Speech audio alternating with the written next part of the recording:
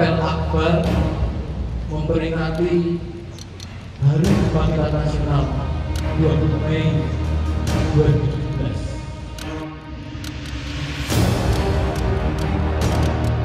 hari ini adalah berkumpul bersama, bangkit bersatu untuk NKRI harga mati.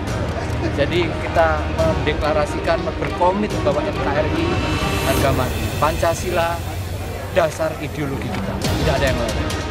Seperti itu. Karena Indonesia adalah berdiri takdirnya karena keberagaman.